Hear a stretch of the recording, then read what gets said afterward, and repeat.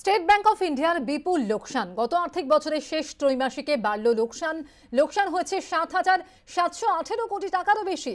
দু হাজার ষোলো সতেরোয় একই সময় দু হাজার আটশো চোদ্দ কোটি টাকা লাভ হয়। আর্থিক বছরের তৃতীয় পর্বের থেকেও লোকসান বেড়ে গিয়েছে। তৃতীয় পর্বে লোকসান ছিল দু হাজার চারশো ষোলো কোটি টাকা। এই মুহূর্তে টেলিফোনে আমরা যোগাযোগ করে নিয়েছি অর্থনীতিবিদ সুমন মুখোপাধ্যায়ের সঙ্গে। সুমনবাবু, দেশের সব থেকে নির্ভরশীল ব্যাংক যেখানে নির্ভর করে মানুষ কোটি কোটি টাকা রাখেন সেখানে এই অবস্থা তৈরি হওয়ার কারণ কি? তিনটে মেন কারণ। আপনি জানেন যে এনপিএ তে স্টেট ব্যাংকের খুব বড় রকম রকম আছে যে নন পারফর্মিং অ্যাসেট সেটা বেড়ে যাচ্ছে।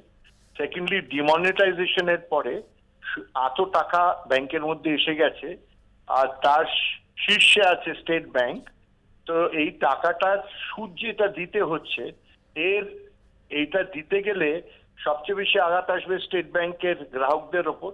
সেই জন্যে এত টাকা আসার পর আমাদের লস ওইখানে বাড়ছে। আর তৃতীয়ত, আজ অব্দি ইকোনমিক গ্রোথ যেরকম হওয়া উচিত ছিল সেরকম হচ্ছে না বলে এই লগ্নিও হচ্ছে না। আর লগ্নি হচ্ছে না বলে কোনো টাকা ফেরতও আসছে না মানে সেই অনুপাতে কোনো প্রফিট হচ্ছে না, লাভ হচ্ছে না, তাই জন্যে অর্থ ব্যবস্থার এই অবস্থা হচ্ছে। অনেক ধন্যবাদ সুমন বাবু কথা বলার জন্য।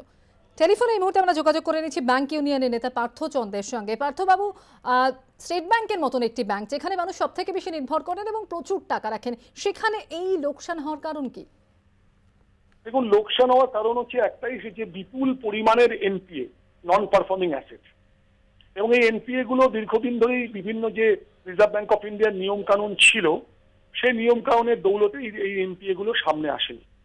ইদানিং এ নীরব মোদী ঘটনা এবং পাঞ্জাব ন্যাশনাল ব্যাংকের এই বিশাল পরিমাণের ফ্রডের পর রিজার্ভ ব্যাংক অফ ইন্ডিয়া যে নিয়ম কানুনগুলো বদলেছে সার্কুলার দিয়ে, সেই অনুযায়ী এখন সমস্ত একানব্বই দিনের মাথায় যে এনপিএ হলেই সেটাকে দেখাতে হবে।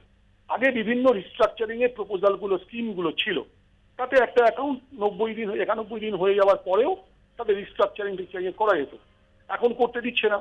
যার ফলে কোনো এনপিআর কোনো ব্যাংক আর লুকোতে পারছে না। ফলে একদম মানে ওই বলে কার্পেটের তলায় স্কেলিটারগুলো সমস্ত বেরিয়ে আসছে। ফলে এর তো স্টেট ব্যাংক অফ ইন্ডিয়া সবচেয়ে বেশি নন পারফর্মিং আছে এক লক্ষ কোটি টাকারও বেশি।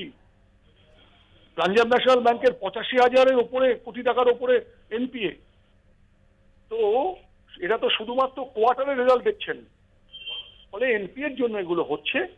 এখন সেই কারণেই কিন্তু সাধারণ মানুষের ভরসাস্থলের কোনো চির খাওয়ার কোনো কারণ নেই।